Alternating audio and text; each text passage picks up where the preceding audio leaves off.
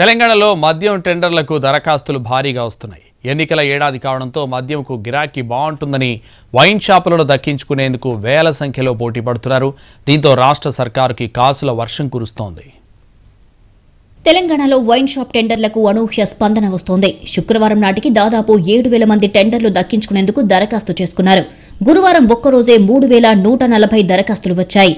రంగారెడ్డి నిజామాబాద్ కరీంనగర్ వరంగల్ ఖమ్మం జిల్లాల్లో టెండర్లకు పోటీ ఎక్కువగా ఉంది. రాష్ట్రంలో మొత్తం రెండు వేల ఆరు వందల ఇరవై వైన్ షాపులు ఉన్నాయి. ఎన్నికల ఏడాది కావడం మద్యానికి డిమాండ్ బాగుంటుందనే కారణంతో టెండర్లు వేయడానికి వేల సంఖ్యలో ముందుకు వస్తున్నారు. టెండర్లు వేయడంలో బీఆర్ఎస్ ప్రజా ప్రతినిధులే ఎక్కువగా ఉన్నారని ఎక్సైజ్ శాఖ వర్గాల ద్వారా తెలుస్తోంది. ఒక్కో దరఖాస్తుకు రెండు లక్షల రూపాయలను నిర్ణయించారు. దీంతో ఇప్పటి వరకు పద్నాలుగు వందల కోట్లకు పైగా ఆదాయం వచ్చింది.